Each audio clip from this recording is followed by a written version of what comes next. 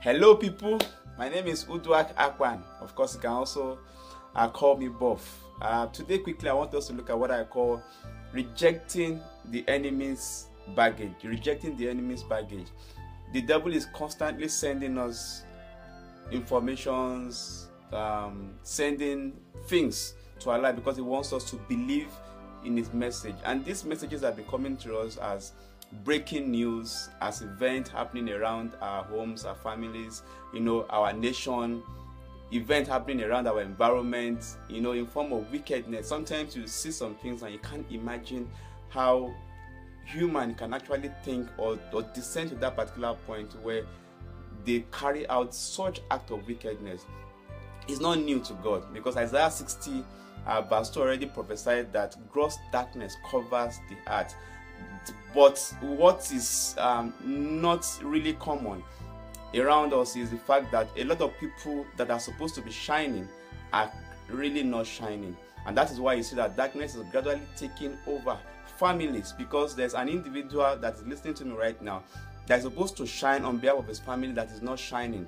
You know, there's an individual that is supposed to shine on behalf of his nation that is not shining. There's an individual that is supposed to shine in his office that is not shining. Some of us have, you know, let the current situation environment dictate how we begin to, you know, receive the new twists the twist around the world, you know, COVID right now, people losing jobs, organizations closing up, and so because we have refused to shine. The point is that um, Ephesians chapter 6, verse 12 says that we wrestle not against flesh and blood, but against principalities, against powers, against rulers of darkness of this world. It means that we cannot use physical measures, you know, the economic terminologies and all those to be to counter what we are actually facing right now. There has to be a foundation, and the foundation has to be, you know, God, where we can build everything that we receive from Him to, to you know, to now build on those foundations that we already have which is which is god.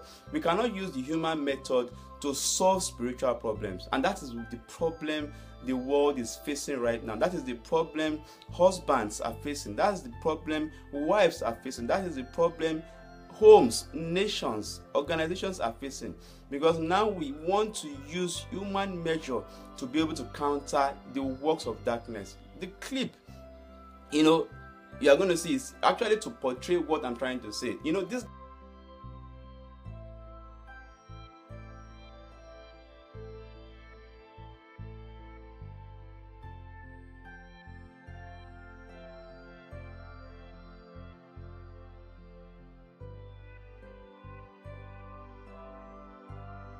darkness comes in different forms in terms of um, you know in terms of issues with medical um, activity, in terms of government, in terms of, you know, nations not having a clue to solving some challenges. Sometimes we have it in our in our lives. Sometimes it comes to us like a form of sickness a form of uh, symptoms. And the, what the devil wants you to do is once your confession aligns with the message he has sent to you then you are falling for it and you have believed you know in a lie. And the truth is that some people will take decisions based on the current event lifetime decisions that will affect the organizations that will affect their families that will affect you know their their, their lineage all through life. Is now is the decision that some people are taking and some people are these decisions that will actually cause you know a switch in the foundation that already been established. And once the, those new twists have now been established, then you now begin to build your life based on the new things you are now beginning to see. Why? Because you want to use your head to be able to solve spiritual problem. It doesn't happen that way. I wrote something down here. I said the media is a great tool to send out the enemy's message. You will always on daily basis hear a news or a news that will bring fear or challenge what you believe. And if you are not careful, you will begin to program your life with this new twist or these new messages. And that is the problem. That's why I'm saying this message to you. That's why God has asked me to tell you that for you to take decisions, for you to do the right thing in life, you need to come back to Him. You need to go back to Him. it is until He can direct and tells you what to do that you can ever do the right thing people have missed it in this particular part because they have listened to the voice of fear. The voice of fear have made them take that decision. The voice of fear have made them go into you know that marriage. The voice of fear have made them go into that investment. The voice of fear have actually taken them made them withdraw all the money from the investment and kept it in a bank and until inflation comes and meet. That's why you see that in investing in in you know in it's not just about the analysis. Sometimes you could invest against the majority and the point is that you are the one that will, that will, that will break through. That's why you see people keep saying that go do not go head towards your fear. Do not run away from your fear. Face your fear. Sometimes it is in the place of fear that the breakthrough actually lies in. So when you see things coming your way and you begin to say, I know I cannot go this, I cannot do this because the entire world is facing this direction. And that's one thing you see that people take decisions based on the majority. People take decisions based on what the news is saying. And, and that's why that's one thing that that causes issues and challenges in our lives. And that's one thing the devil wants you to believe in that lie. And it, the devil is even telling some people or telling us right now that it is difficult that some people will never come out of this particular situation. But the point is that when your eyes are on god when your hope are on god when you have what your faith remains you know in what you have believed before for those that actually believe in the message god has been sending. And that's one thing i need people more people to be able to carry this message, this message, the fact, this message about the fact that we cannot let you know, the fight of faith begin to sleep, you know, in our minds. Devil wants to control, control your thoughts. The moment he can grab your thought, then of course he will grab your direction in life because he will grab your faith. Faith will no longer make us take steps in the path that we should go. You know, his intention, like I said, is is to grab your thought. The moment he can grab your thought, then of course grab your faith. And for everyone that refuse to believe in the truth, the truth is what God has to say concerning a particular situation. What the word of God is saying concerning what is going on in your life, in your family, in your environment is actually the truth that you can ever say. For those that have said that have said that this has failed, like I heard um, recently somebody saying that they're tired of praying. Now, what the devil wants you to do tired of believing in the word of God. Is to get tired of praying. So get tired in holding on to the plan and purpose of God and for your life. But the moment you get tired, you begin to it begins to then begin to lose the grip on what you have believed, and then devil has been able to grab that particular mind. And so that's one thing that you cannot but run back to God, even when it looks as if right now, right now, what we are currently going through, that some some people might never recover from it. But your case is different. Why is it different? Because Bible says the name of the Lord is a strong tower.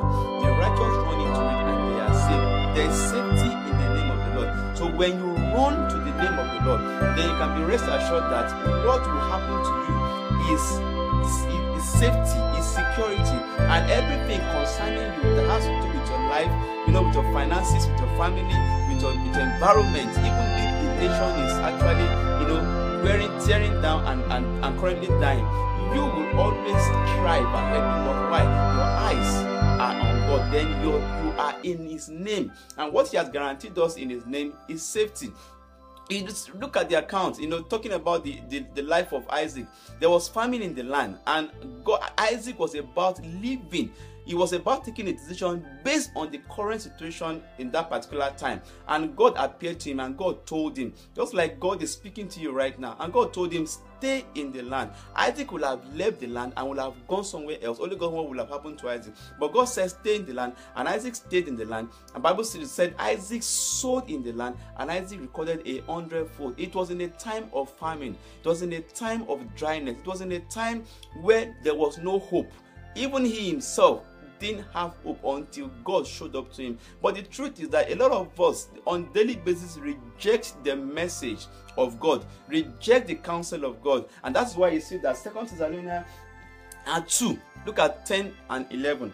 Every time you reject the counsel of God, this is what happens. It's, and look at verse 10, chapter 2, 2 Thessalonians chapter 2. I'll read 10 and 11. It says, And with all deceivableness of unrighteousness in them that perish, because they receive not the love of the, of the truth, that they might be saved. And for this cause, God shall send them strong delusion that they should believe in a lie. So every time you reject the truth, you will definitely work towards believing in a lie. And when you believe in a lie, then you will lose that part that God wants us to be. A lot of people are beginning to pluck themselves out of where God has kept them, and you cannot afford to do that. When you do that, to get your bearing, you need to come back to where God has placed you. You need to go back to God and seek His face and ask God, what exactly did you say? Did you say I should do? I'm so sorry about this. And that's the only way we can now begin to build because in God there is no iota of darkness. So God cannot build on a wrong foundation. If the foundation be destroyed, what can the righteous do? So, uh, except like, like I usually say, except you except there's a rebuild. You need to rebuild on the foundation that god has already laid down for you. And that's the only time that safety can be guaranteed. That's the only time abundance can be guaranteed even in dryness. That's the only time you know victory can be guaranteed even when it looks as if there's going to be defeat. That's the only time you will live you know in plenty even when it looks as if a lot of people or the majority of people are in lack. You need to go back to god you need to go back to God. And that is the only way. John 8 32 said, Jesus Christ said that for what? He said, For you shall know the truth, and the truth shall make you free. A lot of us have been set free as Christians, but because we lack the knowledge you know of the truth concerning this particular situation there are a lot of people are really in bondage bondage of fear bondage of lack bondage of shame bondage of setback because what we have taken our eyes off you know the truth and that's one thing that God has asked me to come and tell you today.